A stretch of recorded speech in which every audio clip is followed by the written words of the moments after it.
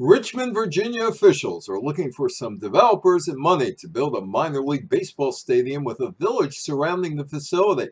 Richmond officials have been told by the local AA team president and managing general partner Lou DiBella that without a new stadium opening by 2025, the Richmond Flying Squirrels franchise will be flying off to another city that is willing to spend millions of dollars for a stadium.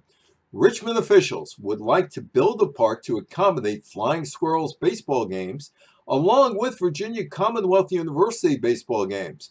Richmond officials will ask private developers for conceptual plans to transform a Richmond parcel of land into an entertainment destination complete with a new stadium that also features housing, offices, and retail shopping.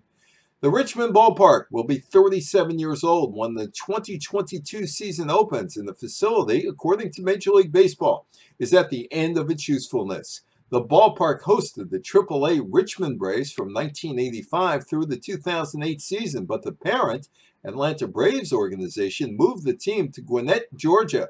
MLB has demanded cities to upgrade minor league parks, and this is nothing new, as in 1990, the MLB minor league agreement made the same demands, which ultimately cost some cities teams after those cities said no to MLB.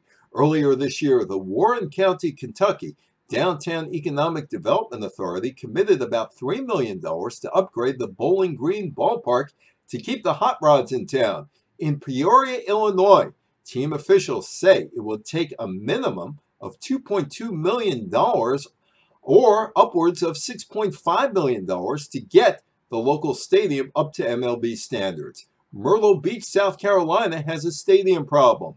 Two ballparks in Pennsylvania, one in Altoona and the other in Reading, need upgrades because MLB says so.